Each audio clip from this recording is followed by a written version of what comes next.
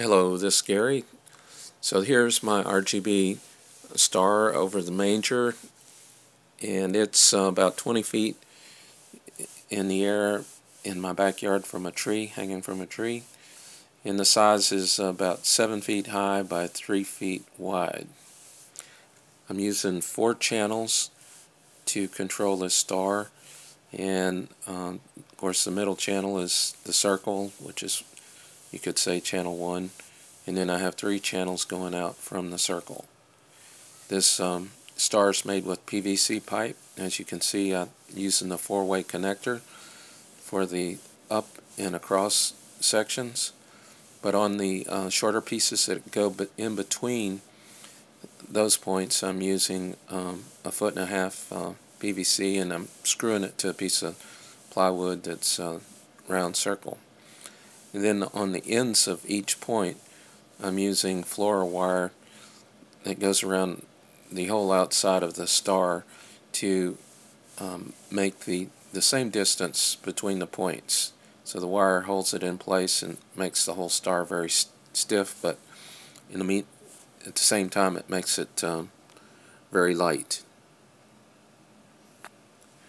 So here's where all of my uh, RGB light strips, the 50-50 light strips, waterproof, come into the center of the star on the plywood.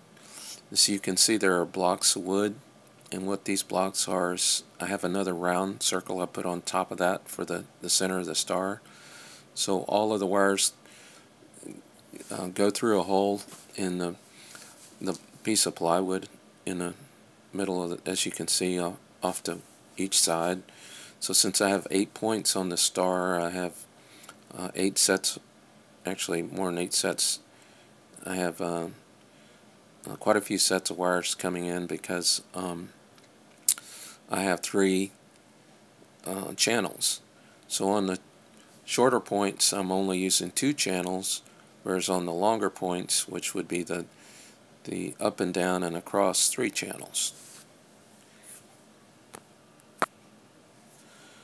So this is where I put uh, the other circle on top of the those wooden blocks and screw them down.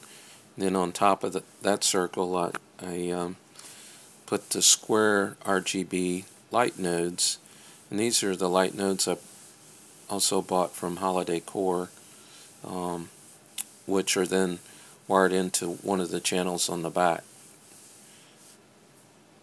So that's how it quickly goes together. To see how it looks in action, just watch my 2012 Christmas show, which is uh, linked within this YouTube account.